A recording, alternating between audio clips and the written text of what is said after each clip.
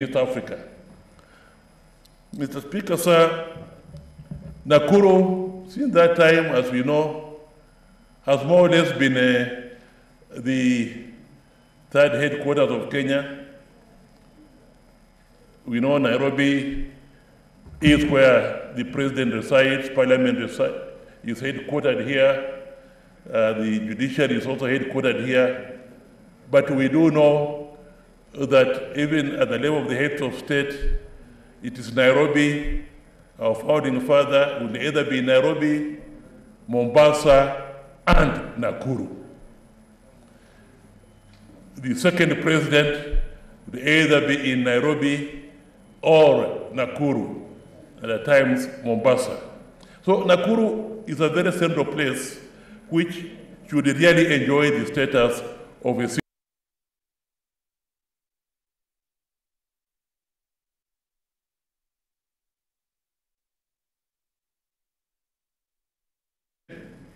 a 14 day tour of our neighboring country, the Republic of Uganda.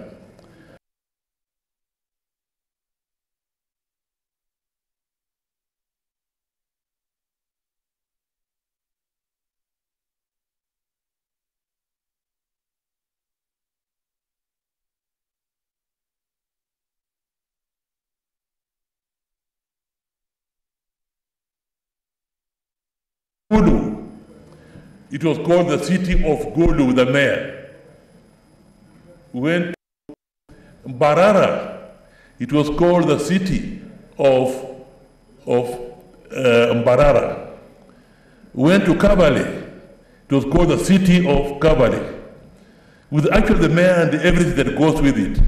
And most of these uh, ci- cities in Uganda are smaller than Nakuru. It appears as if there must have been a policy to make any capital that was a capital of a region in Uganda was made into a city.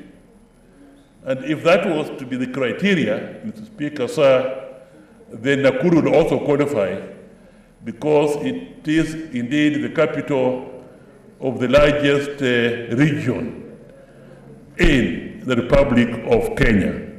So they do qualify.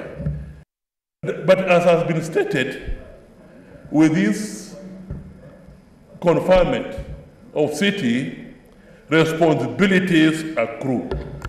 And responsibilities are many, as set out in the first schedule of the Urban Areas and Cities Act. Many. And it is illustrative to note, Mr. Speaker, sir, that the first, as a city, according to that schedule, they must look at the traffic control and parking. Speaker, sir, we normally go through, Senator Wetangula did mention, you can really be delayed by the traffic jams in Nakuru on your way to Kisumu as you drive, or on, or on your way to Kericho, or on your way to wherever, Eldoret even. And therefore, that's the first thing they have to look at. Mr. Speaker, sir, they have the opportunity, them being made a city now, to look at these problems now. Now. Rather than, Mr. Speaker, sir, they don't look at them and they become like other cities. You know, the traffic jams we have in Nairobi, the traffic jams we have in Mombasa are but a pointer. They have the opportunity, Mr. Speaker, sir, to so plan that they avoid the city jams. Mr. Speaker, sir, reading the report of the committee, I can see that most of it really is what I would call work in progress. Work in progress. If it is water, availability of water, again, it is work in progress. And the Speaker, sir, again, the problems of water are there, even in the existing cities, but they have the opportunity to deal with it now. Speaker, sir, they have the opportunity, uh, if it is the question of airport, the Speaker, sir, as we have read in the report, it is also work in progress. The Lanet airstrip being converted into, uh, into, into whatever. If it is parks, again, uh, work in progress. If it is uh, dump sites, again, work in progress. And as we confer the status of city of Nakuru, I do hope, Mr. Speaker, sir, that the promises that have been made under the numerous items where it is work in progress, it will be fulfilled.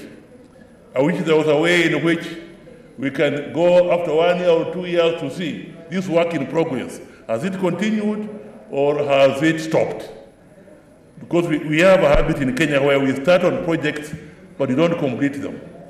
We just start them to get, to get what you want and then uh, it stopped there. So, Mr. Speaker, sir, uh, I support the committee, committee's recommendation that Nakuru indeed deserves to be called the city of Nairobi. Yeah, of deserves to be called the city of Nakuru. I support. Okay, I'll reduce more because this is so much. Five minutes, Senator Kamar. Because we have to take a vote very soon.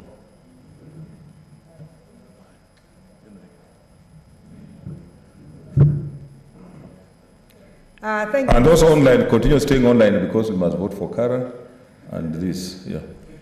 Uh, thank you, Mr. Speaker. I'll take the five minutes. I'll not take more. First, I want to support the report from the committee that Nakuru becomes the city of Nakuru. And I want to thank the committee for a thorough job and uh, working very fast. Mr. Speaker, this is something that has been delayed. Uh, Nakuru should have been a city long before the 2019 application. Uh, for some of us who knew Nakuru from when we were young and attended almost every show in Nakuru when we were in high, school and even when we were employed, we knew Nakuru as the city that was going to be second to Nairobi. Uh, maybe again because I come from Rift Valley, for us that was our headquarters. It is what brought South Rift and North Rift together, and uh, our provincial commissioner uh, administered from Nakuru. So Nakuru has, been a big, has had a big name without being called a city. I want to congratulate the people of Nakuru and um, the leaders of Nakuru for preparing themselves well for this position.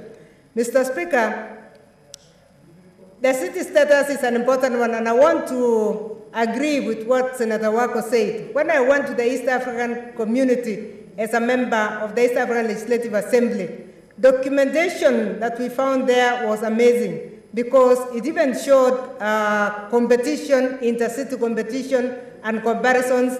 And what the senator said about Nakuru being the cleanest was not only the city as the cleanest, but the East African um, railways and harbors had considered Nakuru as the best and the most friendly railway station.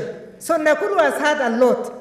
My, the only thing I would like to, to ask the leadership of Nakuru is that they need to bring back the old image of Nakuru. The Nakuru that we knew, the Nakuru that was extremely cosmopolitan as far as elected leaders was concerned, the Nakuru that was um, friendly to everybody. We want to bring that image.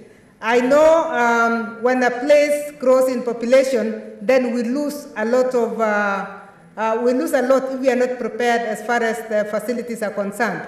But I really believe that Nakuru can bring back its image. We have already seen it. The old railway in Nakuru has, uh, has been cleaned.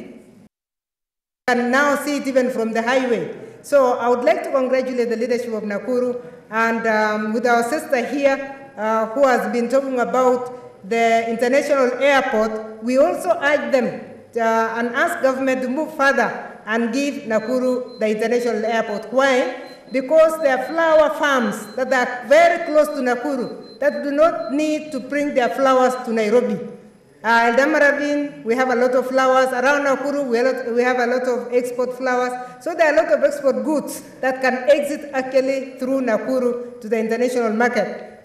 Finally, Mr. Speaker, I know we are going to be the next in line. We've already named ourselves as the city of champions in Eldoret, and I really believe that we are going to be ne- the next. We have just been waiting for Nakuru to move out of the way. So because Nakuru is out of the way now, we can prepare ourselves and come here. City status, we know, is very important for any any town or any upgrading of a town.